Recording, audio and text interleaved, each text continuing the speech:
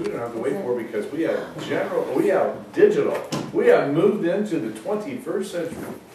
Ladies and gentlemen, I have the pleasure this afternoon, wait a minute, this morning, to introduce our first speaker. Our first speaker is doing the Company Communicators number five. Family is very important to Arlinda and Ken. So when they got a surprise phone call on Easter Sunday, they couldn't have been happier. Help me welcome Arlinda Smith with her speech, My Easter Weekend, My Easter Weekend, Arlinda Smith.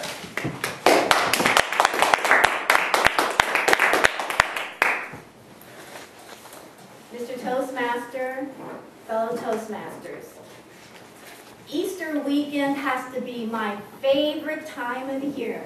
A time where there's new growth and the nurturing of so many things, like the garden, like family. Our son Ken, named after his father, of course, and his family of five arrived unexpectedly from Oregon yesterday. Jonathan, 14, was over six feet tall. Hmm. Now, we haven't seen them for two years. Hmm. Six feet tall. He got his growth spurt this last year. And because he got his growth spurt, his personality has flowered because now the kids don't, don't pick on him anymore. From here to up here somewhere. I thought that was great. And his sister Whitney is in 11th grade, and she was sporting a, a cap and a big tie, and she looked like the 11th grade teenager that she was. We were excited about that. She's going to go into some type of law enforcement, and Jonathan is considering going into the military, the Marines, I believe. And then there's little Connor. Little Connor is four years old, but he's jubilant and happy, energetic, and he has a big smile on his face. And he looks like his mother, Jeanette. Looks like his mother, Jeanette. We took them out to lunch at Round Table Pizza, where we stuffed ourselves with pizza and salad and cinnamon sticks, and they all loved it. I was particularly worried about the kids. I wanted to make sure the children had a good time with their grandma and grandpa. We have a very small apartment, and so I thought it would be best to take the families out and do something with them. So pizza was the thing, and after pizza, we went to Briones Park, Regional Park, because I wanted to share the beauty of that park with my family. This is a park that Ken and I have started hiking in. And it was very beautiful. Let me tell you a little bit about how beautiful that park is. It has beautiful hills. Let's start with the hills. They're beautiful and they're green because of the rain.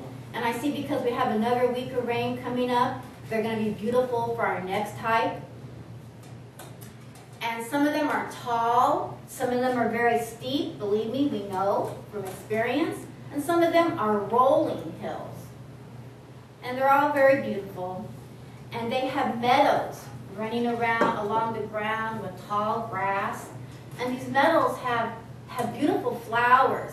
Some blue flowers that are on the ground and then seem to drape over the bushes, if that's possible. And then in other parts of the uh, meadow, there are, are pretty yellow flowers kind of look like dandelions, but I don't think they are. I'm not up on my, my natural flowers and, and things like that. Then there are the tree trunks. And these trees of Briones must have been there forever. I don't know how long that is. But when a tree has been around for a long time, it is misshapen. It doesn't look like your tall, billowing trees you normally see. But these trees have arms that come down like this. So instead of being upright, the arms come down and they hit the ground.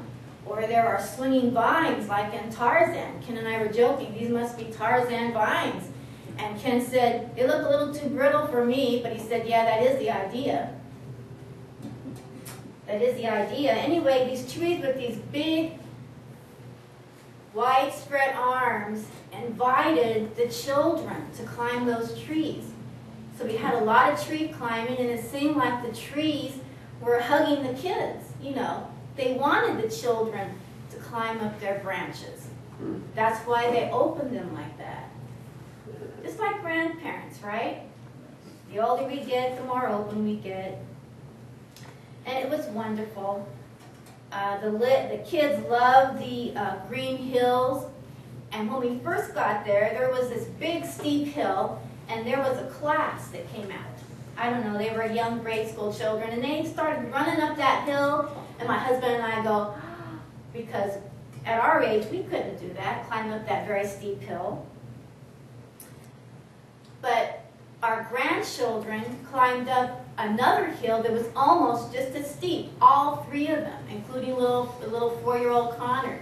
They started running up this hill, and Ken and I, at our age, you know, we have our walking sticks, and we're walking up the hill at our own slow pace, and we're thinking what a great job we're doing, until we see, until we see all the children running up the hill. But oh, what it would be like to have all that energy of children again, wouldn't it? Oh, I can think of so many things I could do with that energy, but Ken and I still keep our, our finger in there, and we still, we still climb those hills. We climbed twice this weekend, and we plan to, we plan to hike three times a week. Remember the terrain with all the big rocks and the uh, stumps and everything reminded me of when I was a child at my grandparents' house, and my sister and I would run up and down the hills, and I remember the big, jagged, gray rocks. In fact, I still have a scar right here from falling on one of them too many times when I was a child. On the way back, there was this big, husky German Shepherd kind of a dog named Daisy, who fell down the side of one of those hills down into the water, into the stream.